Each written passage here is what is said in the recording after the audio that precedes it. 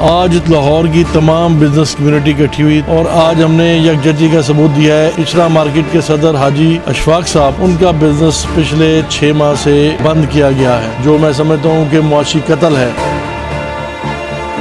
अदालतों में कानूनी चारोजोई दोनों पार्टियाँ कर रही हैं। जो भी मुजरम इसमें हुआ, उसको सजा दी जाएगी। लेकिन हमारे यहाँ जो ताजर है उनकी दुकानें हैं, उनके ऊपर तकरीबन पंद्रह से बीस खानदान का रोज़गार उन पर डिपेंड करता है। उनको कारोबार करने की वहाँ पर इजाज़त दी जाए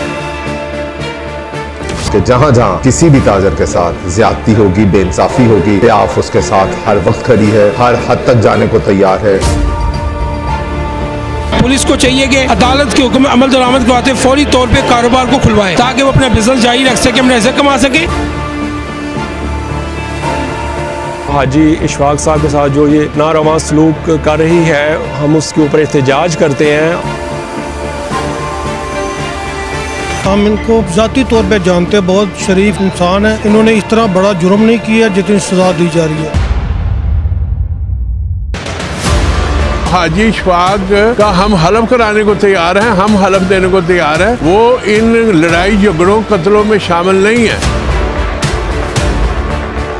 मैं चौरी कदीर साहब जिनका बच्चा इस लड़ाई की जात में आया उसकी वफात हुई। मैं उस सदमे में उतना ही शामिल हूँ जितने वो खुद हैं। सेशन कोर्ट का एक फैसला मौजूद है कारोबार खोलने के लिए और पुलिस खुलम खुला उसकी खिलाफ वर्जी कर रही है। तो मेरे ख्याल में ऐसा नहीं होना चाहिए। पुलिस को पार्टी नहीं बनना चाहिए।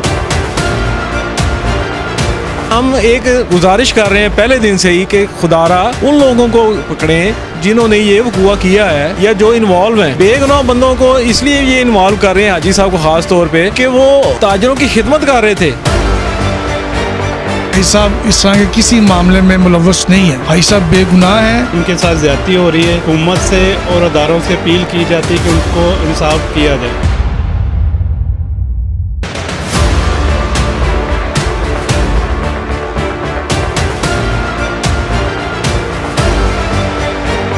इचरा बाज़ार के सदर हाजी शफाक का इचरा बाज़ार में होने वाले कत्ल के अफसोसनाक वाक़े से कोई ताल्लुक नहीं। हाजी शफाक अफसोसनाक वकुआ के रोज ना ही अपनी दुकान और ना ही बाज़ार में मौजूद थे। महकमा पुलिस ने नक्स अमन को जवाब बनाकर हाजी शफाक का छह माह से सारा कारोबार बंद कर रखा है, जिसके बायस दर्जनों मुलाजमीन मुआशी बदहाली का शिकार हो चुके हैं, जबकि मुसलसल कारोबार की बंदिश से हाजी शफाक और उनकी फैमिली शदीद मुतासर हो चुकी है। अदालत के वाजह अहकाम के बावजूद कारोबार खोलने की इजाज़त न देना जुल्म के मुतरदिफ है, जिसकी शदीद मजम्मत करते हैं। हुकूमत और महकमा पुलिस से मुतालबा करते हैं की हाजी शफाक को कारोबार खोलने की इजाज़त दी जाए। दीगर मामला में कानून की पासदारी यकीनी बनाई जाएगी। कारोबार की बंदिश का फैसला वापस न लिया गया तो जल्द तमाम लाहौर के ताजरों को मदू करके सख्त लाहमल अपनाने पर मजबूर हो जाएँगे। प्याफ के मरकजी ऑफ़िस में लाहौर के ताजर रहनुमाओं का प्रेस कॉन्फ्रेंस से खिताब।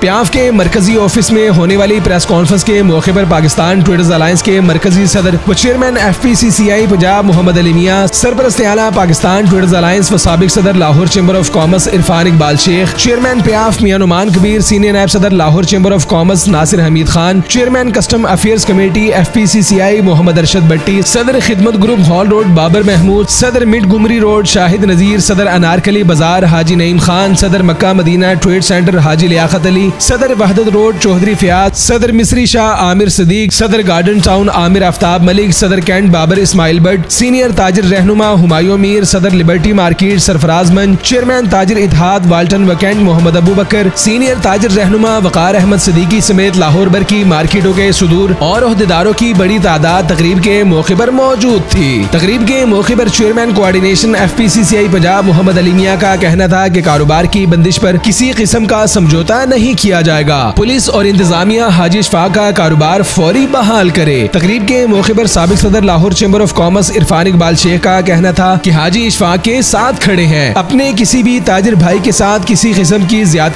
और ना इंसाफी के खिलाफ हर फोरम पर आवाज़ बुलंद करेंगे। तकरीब के मौके पर चेयरमैन प्याफ मियाँ नुमान कबीर का कहना था कि प्याफ हाजी इशफाक के साथ खड़ा है। इनके कारोबार की बहाली तक अपनी आवाज़ बुलंद करते रहेंगे। तकरीब के मौके पर सीनियर नायब सदर Lahore chamber of commerce Nasir Nasir Hameed Khan का कहना था कि लाहौर चेंबर के प्लेटफॉर्म से हाजी इशफाक के कारोबार की बहाली के लिए फौरी इकदाम उठाए जाएँगे। प्याफ के मरकजी ऑफ़िस में होने वाली प्रेस कॉन्फ्रेंस के मौके पर तमाम ताजिर रहनुमाओं ने ऐलान किया कि हाजी इशफाक के कारोबार की बहाली के लिए पहले मरहले में बातचीत के ज़रिए मामला हल करवाने की कोशिश करेंगे। अगर कारोबार की इजाज़त न दी गई तो तमाम ताजर क्यादत को इकट्ठा करके सख्त लाया हमल मुरतब किया जाएगा।